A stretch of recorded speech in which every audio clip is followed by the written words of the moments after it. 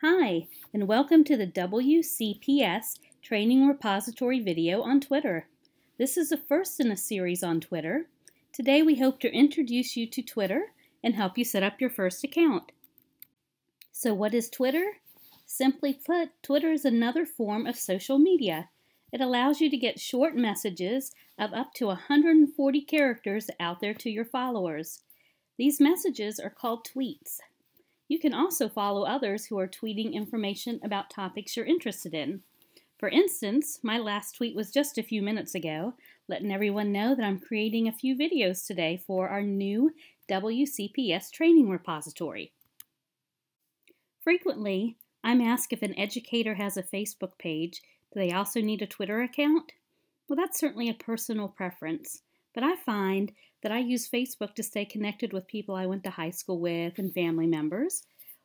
Twitter, I tend to get on to find professional things, things I'm really interested in.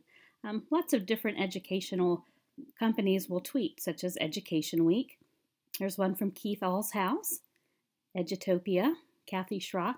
So it's a great way for me to gather information that I might not have found otherwise. When I was first introduced to Twitter a few years back, someone told me that, you know, think of Facebook as a way to stay connected with those folks that you went to high school with. You know, stay connected with your family. But Twitter is a great way to stay in touch with those who you wished you had gone to high school with. I'm not sure that I buy into that, but it certainly is a different way to look at things. So let's get started and create your Twitter account. The first thing you're going to want to do is open up your browser. I find that Chrome and Firefox work the best with Twitter. And you're going to go to twitter.com.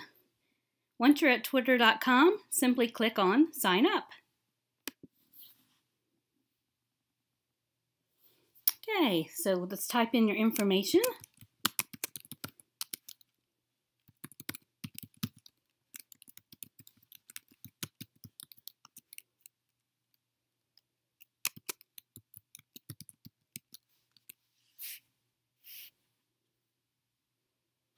And click Sign Up.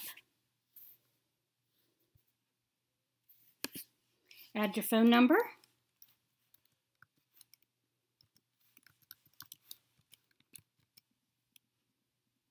Or you can skip this step if you'd like.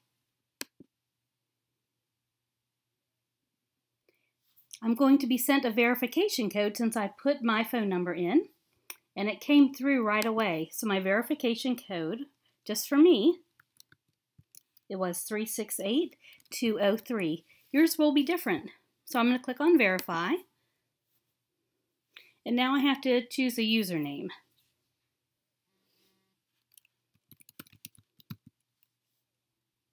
Oh, that one's already taken. So let's try, I'm going to try WCPS Peer Kim. Hey, that's a good one. They make some suggestions down here just in the event that you can't come up with one.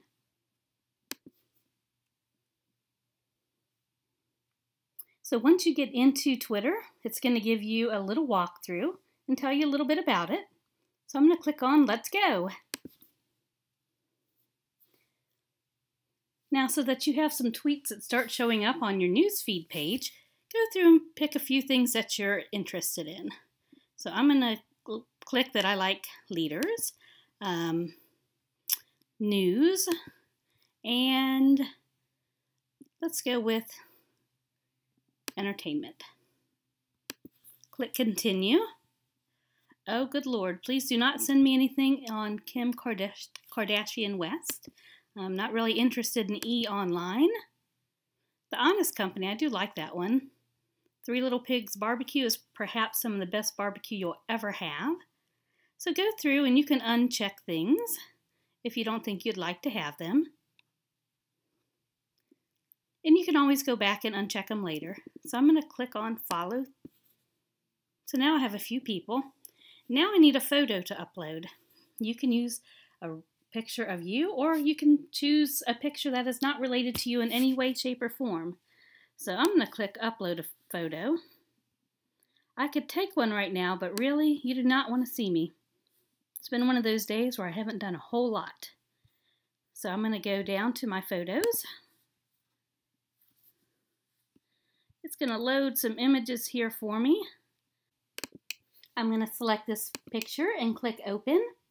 I need to reposition it just a bit. I'll click apply. Then you're going to click continue. Then it'll ask if you wish to find people you know. You most certainly can do that through your Gmail, your Yahoo account, your Outlook, or your AOL account. I am going to skip this step for the time being. It's going to add 20 or so more to my Twitter um, account if I allow it to. So I'll go with that. And now my account is set up. Now please note at the top it does give you a warning that they are sending you a confirmation to the email account that you signed up with. So at this point you will need to go into your account and verify that you are indeed a real user. Basically what Twitter is doing is making sure that you're not spamming them. Sometimes this does happen to large companies.